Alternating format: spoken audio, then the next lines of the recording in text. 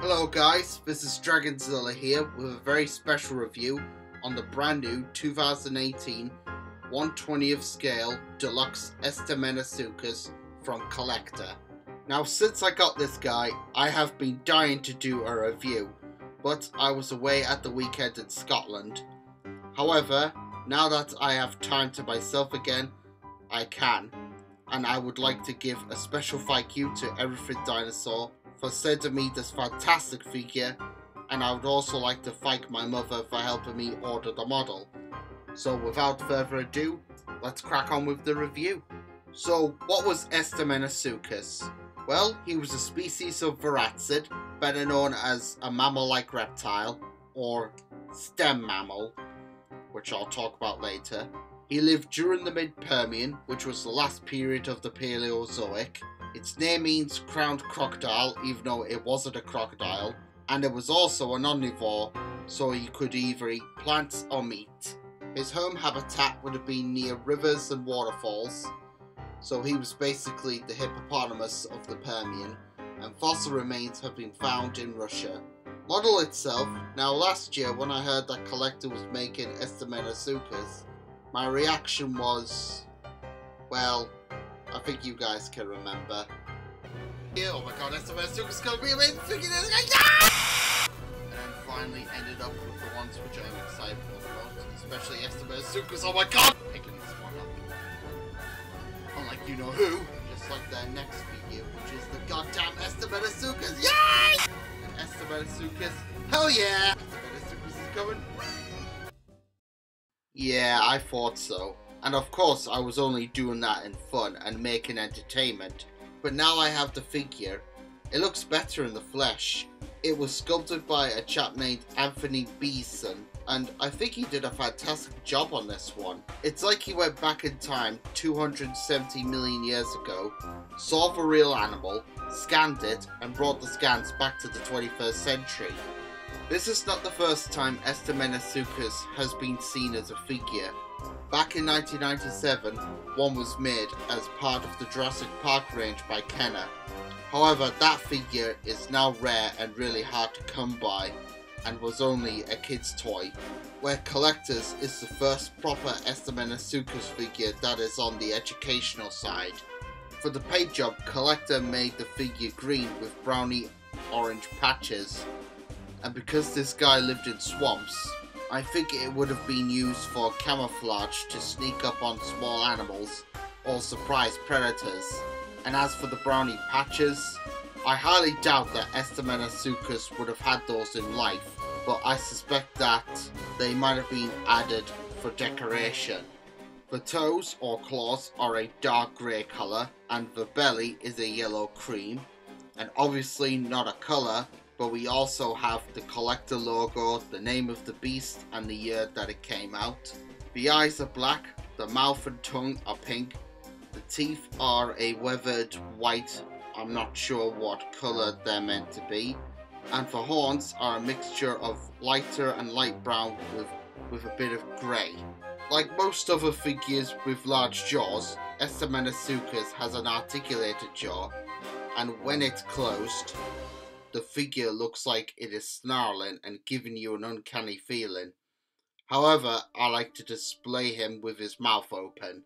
So let's talk about the detail. Now, Estemmenosuchus might have lacked scales, and we don't know whether or not he and other therapsids would have had fur. I think that's up for debate. So what Collecta have done, they have given him, well, how do I describe it? The skin, to me at least, looks like it used to be scales in some areas of the body, and it's becoming the type of skin that would eventually be covered by fur. There are depictions of Estemmenosuchus with fur or bits of primitive hair, but I think Collecta did a great job with the skin. Although I think maybe they could have added a little bit of hair, but I'm happy with the look and thus their figures are scientifically accurate just like Safari and Eofauna. The tail is short and squat, which a lot of therapsids had. Well, there were some with long tails, but most were short. The head to me is the best part because it is the classic dinosaur looking head and he has wrinkles on his face. even though it's probably a young Estemmenosuchus in his prime. The teeth and fangs, at least I think they're fangs, are individually sculpted, and the tongue isn't painted on, sculpted again.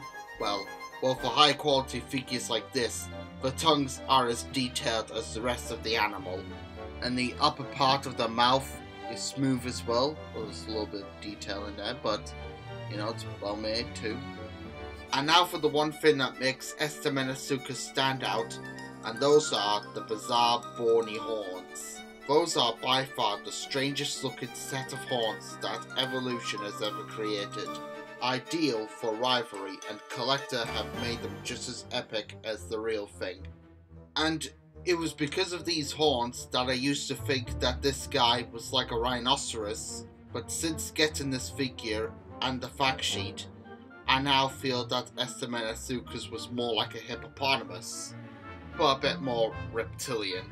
This beast was semi-aquatic, and the figure shows that, especially when viewing from the back. He reminds me of an amphibian. Even though Estemmenosuchus wasn't an amphibian, he was a mammal-like reptile, or stem mammal. Okay, this is what I want to talk about. So, from what I have heard, for the past few years, scientists and paleontologists have been saying that we should stop calling therapsids mammal-like reptiles and call them stem mammals instead. Now, I'm not giving out any facts or trying to be all trady explainer, or telling you all what you should and shouldn't do. I'm just voicing my opinion, so hear me out.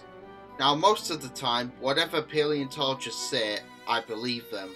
When they announced that Tyrannosaurus rex had feathers, I was up for that, and I believe that it was either last year or the year before, they said T-Rex didn't have as much feathering as first thought.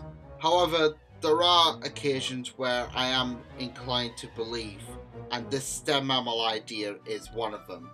I think stem mammal only works for creatures like Thrinaxodon, Placerias, and the early rodents that appeared when the first dinosaurs evolved. However, looking at this figure, even though you can tell that it is related to mammals, it still looks reptilian at the same time. So, in my opinion, the therapsids of the Permian were the mammal-like reptiles, and the ones of the Triassic stem mammals. But that's just my opinion. Your thoughts may be different, and I will respect your opinions, as long as you respect mine in return. So for media appearances. Well, aside from books and getting an occasional honourable mention in documentaries, Estemmenosuchus appeared in the Click and Point System 3D Dinosaur Adventure in the educational part, and it also appeared in one of the Land Before Time movies. I don't remember which one, because I only saw the first six. However, it appeared in a song about imaginary friends. It's the big blue quadruped Barney with the big flower frill on his head. That's an Estemmenosuchus. It doesn't look like the real thing, but it was made kid friendly as opposed to a horned swamp monster from the dawn of time. And now for size comparisons. Since I have the icon of the Permian, let's bring out the Papo Dimetrodon, which was the third figure that we reviewed, link will be in the description. Estemmenosuchus would have been bigger than Dimetrodon, and even though they never met, they do look great, especially when facing each other.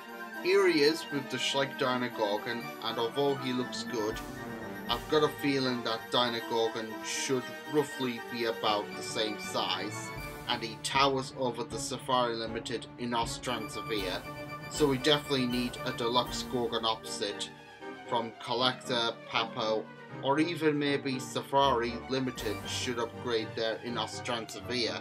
He also looks good with other prehistoric beasts like the Collecta Uintatherium, another one we reviewed, the link will be in the description, he is dwarfed by the mighty steppe mammoth from Eofauna Scientific Research, which is another fantastic figure, link below, and another must-have. He is almost the same size as the Collecta Daeodon and the Safari Limited American Mastodon, that has also been reviewed, again linked below.